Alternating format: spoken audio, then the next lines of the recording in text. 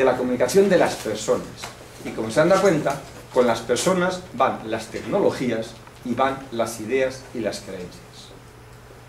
El mar, pues, es el vehículo por excelencia de la comunicación en la historia de la humanidad. En el Mediterráneo, de oriente a occidente, hay pruebas arqueológicas desde el cuarto milenio, pequeñas naves, que llegan de oriente a occidente. Lo que pasa es que ya en este primer milenio antes de Cristo, este tráfico es, pues como ahora Milla del Mar, con el taco que se monta, ¿no? En la calle principal. Es decir, ya es un auténtico hervidero de barcos cruzándose en todas las direcciones. De hecho, hoy día, en el siglo XXI, todavía el 72% del comercio mundial se hace en barcos de contenedor.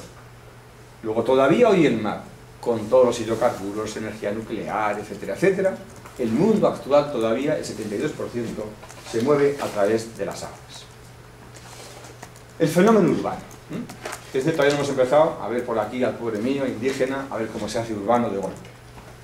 Miren, igual que todo ya el mar tenemos que verlo como una autopista de la antigüedad, el Mediterráneo se convierte en el vehículo, por bueno, en, la autopista por excelencia. Y el barco o la barca, que aquí no lo vamos a matizar, se convierte en el vehículo por excelencia.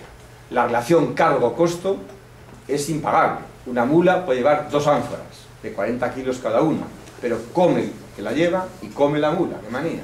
En cambio, una barcaza puede llevar 60 ánforas y no come. Tiene que hacer mantenimiento en invierno. Es que en invierno no se navega, fantástico, hago mantenimiento. Entonces, el mar, por la facilidad de comunicación, de transporte de mercancía, de costo de energía, comparado con ir andando o con... Sí, sí, Mauricio. Claro que sí, con toda libertad. Por favor.